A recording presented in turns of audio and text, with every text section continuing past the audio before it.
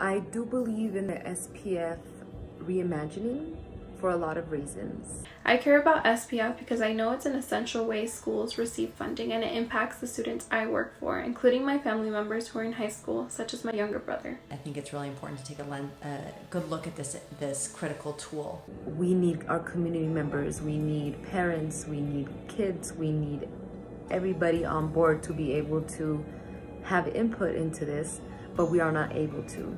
While Colorado's COVID-19 mantra is we are in this together, please don't divide us by moving forward without us.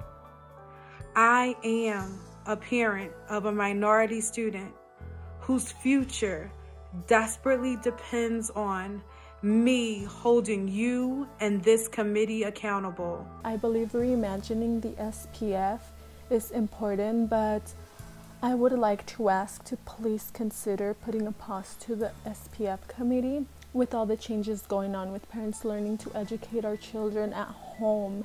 I believe we need to pause the committee from taking further action during this crisis so we can help give families and students the time they deserve to process the difficulties they are facing before we go ahead and introduce more changes to the systems they are currently adjusting to. I would ask that you pause your work on reimagining the SPF and put it on hold until this pandemic has run its course and uh, family and community members are able to more deeply engage in the process. I believe in our district's ability to continue to set a high standard and provide for our students.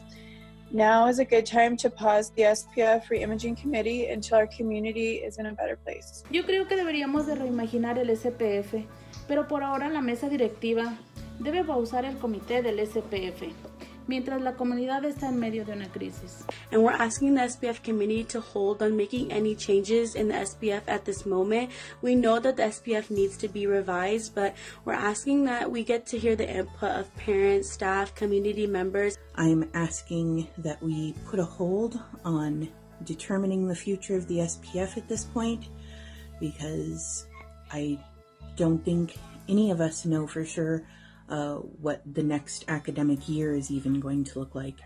And right now, I think the priority is just keeping everyone safe and healthy and engaged in learning